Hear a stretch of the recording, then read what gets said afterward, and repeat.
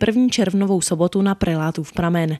Již po čtvrté se zde totiž konal indiánský den. Přišla jsem sem, protože, protože už jsem tady několikrát byla a moc se mi tady líbilo. A například jsme plnili, že jsme utíkali před koulí nebo hledali ptáka. Protože se mi tady hrozně líbí. Také letos přichystali organizátoři především pro malé indiány desítky nejrůznějších stanovišť. Je tam jeskyně s pokladem, vrhání tomahavkem, střelba z luku, hod oštěpem na bizona. Na stezce Inků měli děti za úkol lézt po provaze a čekalo je i bludiště. Jsou tady dva okruhy, ten jeden je tříkilometrový, no a ten eh, druhý je víceméně eh, v místě areálu tady pro malé děti. Na indiánský den dohlížel samozřejmě náčelník, který nám prozradil, jak vlastně indián vypadá. Správný indián hlavně by měl mít odpovídající oblečení, Samozřejmě tady u nás v Čechách není, není potřeba žádný dlouhý, dlouhý vlasy, není, není potřeba mít orlínos na to. Jsou totiž mnohem důležitější věci, které dělají indiána indiánem.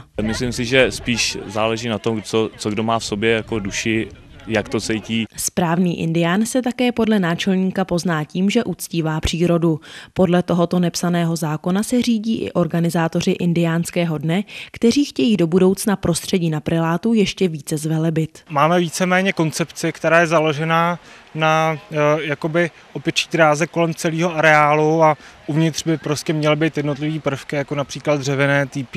Na co konkrétního se tedy mohou děti těšit? Na Prátově pramě bychom chtěli vyčistit eh, spodní rybníček. Další záležitostí je eh, rozhledná, kterou bychom chtěli doplnit o nějaký další hrací prvky, aby to nebylo takový ten prvek, kam si to dítě vyleze a nic. K indiánům ale také nerozlučně patří oheň, čelenka a třásně na oblečení. To všechno mariánsko-lázeňští splnili.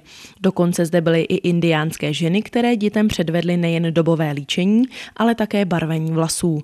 Na lesní okruh, kde byly připraveny nejrůznější úkoly, se tak většina dětí vydala zcela indiánsky. Děti dostanou kartičku a na každém stanovišti získají nějaký slovo a pak se z toho složí poselství. Všichni, kteří správně složili šifru, získali indiánský amulet.